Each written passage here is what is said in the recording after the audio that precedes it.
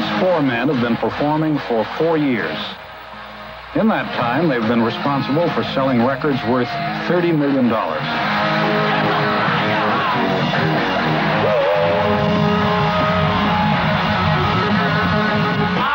want to rock and roll all night. All night, baby.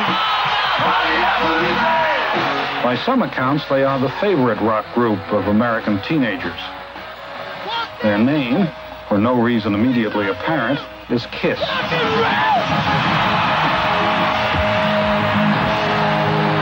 From the beginning, Kiss emphasized style over substance. They went heavy on trappings.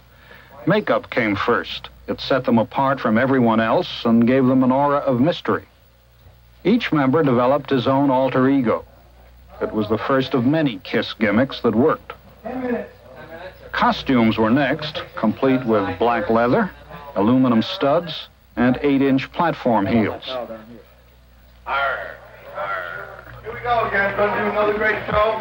Have a good time, rock and roll for the people. Music makes everybody happy. I want to dance. I want to sing. I want to be somebody. The fabricating of Kiss has transformed four ordinary young men from New York into figures of fantasy for millions of young people. In the eyes of their fans, they are more than musicians, more than celebrities.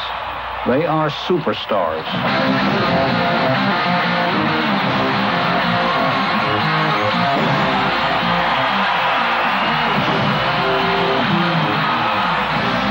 In the frenzied world of rock, where the audiences are young and volatile, Kiss has found a simple formula for success. Hit those audiences so hard with a barrage of gimmicks, stunts, and theatrics that they won't be able to forget you. Is Kiss bludgeoning rock to death? I think Kiss is a lot more exciting than four slobs walking on stage who need a shave. You know, I think we're, we're putting glamour back into rock and roll.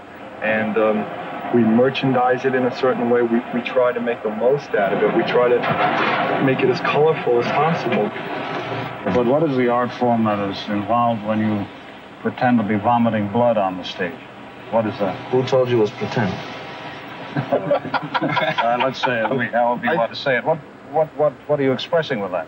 Why are you looking for meaning where there is none? What we're trying to do is to put on fantasy, live, walking, exploding, vomiting, just Smoking. everything smoking, fantasy live on stage. When you go There's to an art. There's an art to, to projecting a fantasy to uh, two million people or three million people. There's an art to selling out halls, 20,000 seat halls every night. That in itself is an art.